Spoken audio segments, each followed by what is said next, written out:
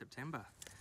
It's a beautiful spring day. The sun is shining, the birds are singing, and the bees are buzzing.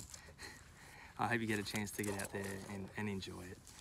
Um, I have a confession to make. I haven't seen all the Salt With You videos, but the ones I have seen, I've been truly blessed and, and thankful for those who've shared. And so, yeah, I encourage you for those who who um, who tuned in just to continue to do so. We're just scrolling through your phone each day. Check in with with the Salt With You videos. Um, so, what what is Salt With You? Well, Jesus said in Matthew 5, 13, 14, he said that we are salt of the earth and, and light of the world.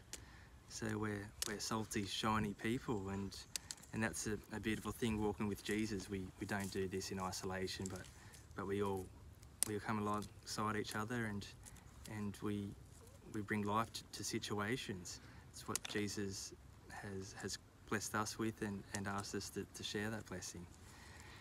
It's salt and light. It's it's it's vital for for our existence, and um, yeah, it's something we all all carry around and, and we can all share. So what what does what does it look like to be salt of the earth? Well, nothing brings salt and flavour to a situation more than a kind word, I believe, in, in a hard hard conversations or, or difficult situations. Um, Jesus said that, or it says in Proverbs that anxiety weighs down the heart, but a, a kind word cheers him up. So paying compliments to each other is a great way to be, be salt to, to each other. You can pay compliments to to the person next to you right now, or, or, or just in your circles. Um, just say what a what a wonderful job they're doing, or or thank you for painting that mural, or mowing the lawns, or or just really simple, just showing a kind word of appreciation is is um, a good way to be, be salt salt of the earth.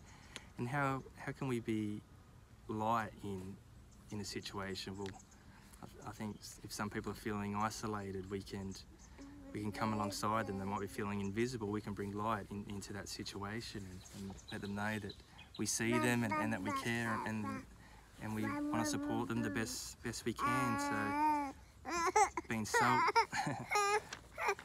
being salt and light, it's um, it's something that we've received. So let's share that as as God has given that to us. We we can also be salt and light to others. Uh, God bless you guys. Hope you have hope you have a great day.